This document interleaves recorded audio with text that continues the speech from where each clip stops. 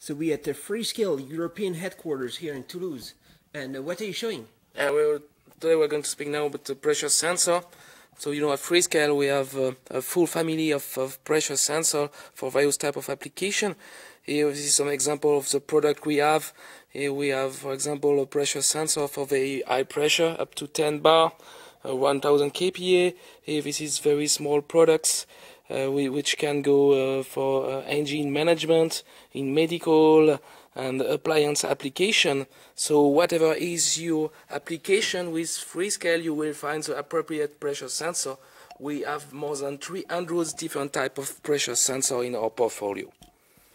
So now I would like to show you uh, also this interesting application. This is invasive blood pressure uh, application, and here you see uh, some very specific medical certified pressure sensor from uh, from Freescale. This is uh, this is here.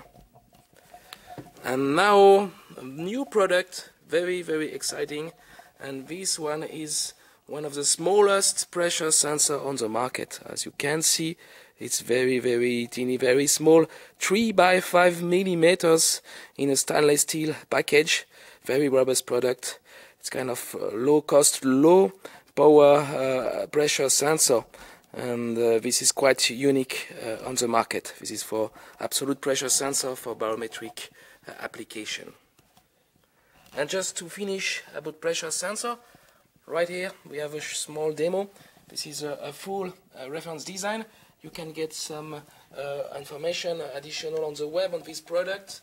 You have here this small pressure sensor from Freescale, accelerometers, and also we have a low pressure sensor and to demonstrate that with pressure sensor you can measure liquid level very easily. You know to measure liquid level with electronics is something uh, usually difficult, at least not so easy and with Freescale pressure sensor with a sample tube, some liquid, here on the screen you can see directly uh, the level of the uh, water on the LCD screen.